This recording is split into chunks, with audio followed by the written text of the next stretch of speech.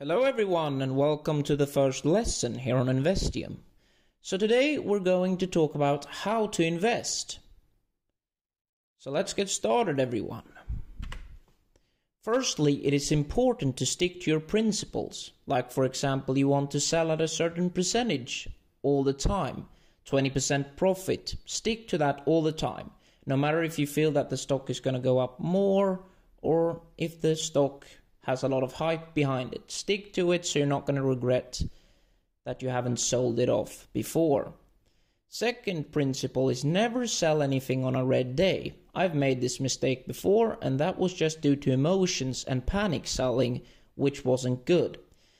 Number three, never buy anything on a green day. This is because everything is going so well, so you will buy some a stock at a price which is not good. You should only buy when a stock goes down.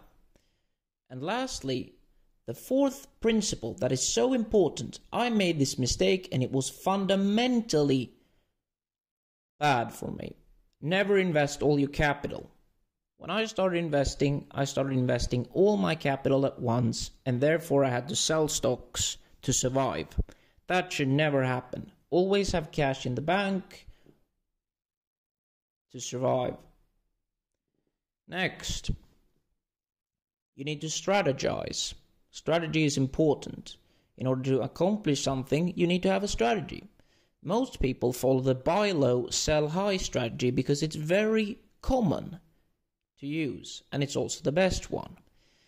You can also only buy known companies. This is the safest thing if you're just getting started to investing. If you only buy Apple shares, Amazon shares, PayPal shares, etc. Because these are known companies and their services are very simple to understand. You should never invest in something you do not understand. That is very bad. And if you're also a beginner, you should just focus on one market. This is easy because if you live in the United States, you should just focus on NASDAQ. The NASDAQ for the United States because then you know all the companies and you can also get a lot better information about the companies. But people are going to say obviously the internet is great about to know about companies. Yes, sometimes. No, sometimes. So if you are just beginning, focus on one market. Strategies are very important. Next, no emotions. Emotions are the enemy of investing. Most people can't have patience. As soon as they see that their stock is going up, they sell it, even if it's not a good price. Like Warren Buffett says, money is attracted to patient people. If you're not patient, money runs. Another myth that I need to expose that often happens is when you're having a red day and you think that you're losing all this money because it says minus maybe $30 or just pick a random number and you think you're losing money. You're not losing money because stocks go up and down. You only lose money when you sell stocks at a lesser price than you bought them for. Also, don't get frightened. Being frightened is very bad. You should also ignore the emotions of your friends. When your friends are saying that they're selling a stock or they think you should get out now, don't listen to them. Make your own decisions. Being influenced by other people is very bad when it comes to stocks. Moving on. There are different types of stocks, of course. Growth stocks are usually in new or fast growing industries and they have a potential to give shareholders greater returns. They are, of course, the most volatile class of stocks and may likely plummet. Value stocks are companies with growth potential that are currently selling at a low price relative to their intrinsic value. It can take time for their true value to be reflected by their price. Moving on to income stocks, they're not expected to rise very much they pay steady dividends. Utilities have historically been considered income companies. For example, Coca Cola or Lumen. Their stock doesn't rise very much, but their dividends per share always increase. Then we have blue chip stocks. They are stocks of large, very known companies with good reputations and strong records of profit slash growth. They are considered safe investments as they generate dividends. Now that is another myth. There is no thing as a safe investment because the only safe investment is when you control it and you utilize the right principles. There is a myth that they always talk about safe investments. If you don't take any risks, there's no reward. Remember that. And these blue chip stocks are, of course, Apple, PayPal, Coca Cola, very famous companies. And then there are penny stocks. They are not expensive, but they're extremely risky.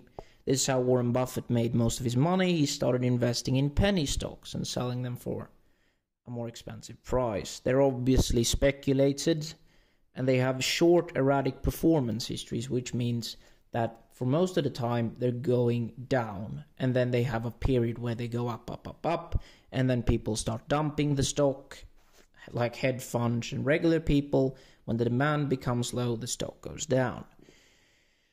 But their low price obviously nets a small loss in exchange for potential exponential growth. And there we have covered all the five stocks that you can purchase, all the categories.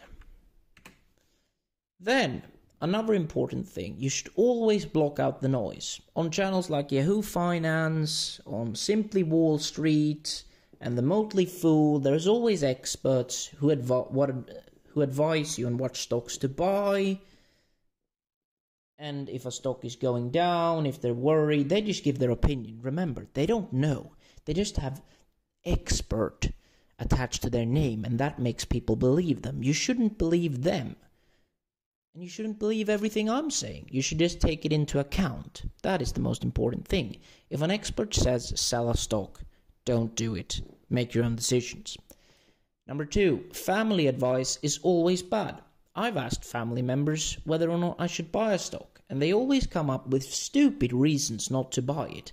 You don't know anything about the company. You um, shouldn't invest in that. It's un- an unsafe business. What do they really do? All that stuff. So never listen to your family because mostly your family are follow Johns who only believe in the 9 to 5 lifestyle and only want safe things. Don't follow John. And lastly, no trends. If a stock is being encouraged to be bought by many news outlets and experts. Don't buy it because what they're trying to do is they're trying to generate hype around a stock. You remember GameStop when that happened? The GameStop saga, all the hedge funds were shorting the stock and people got upset, so they started buying it and the price skyrocketed, and then people started dumping the stock. Inexperienced investors just thought, oh, GameStop, what a great investment, even though the company has had a non-profit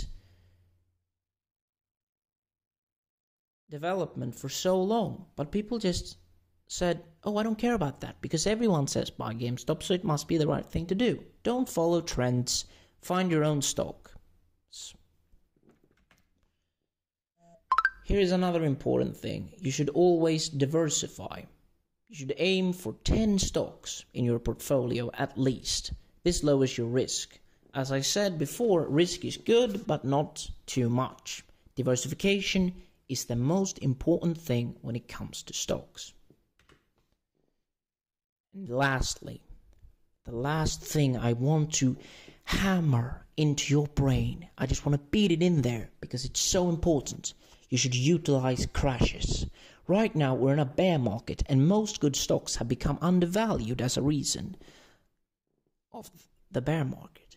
And most people panic during this time. They sell off all their stocks and empty all their portfolios and they keep cash in the bank. But guess what? Your bank just loans out your money all the time and make a profit.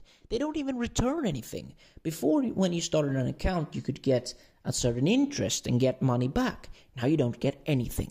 Stop being a runner and be patient. When bear markets happen, use some of the money that you make and buy good stocks. PayPal, Apple, Amazon, whatever. Things that you know about. Companies that have been highly successful on the stock market for at least five years. Do that because bear markets is when the rich people get richer and the poor people get poorer. Now, that was all for this first lesson of Investium. Thank you for attending this class, and hopefully, you've become a more enlightened investor and you know more of the fundamentals to become a rich investor. Thank you.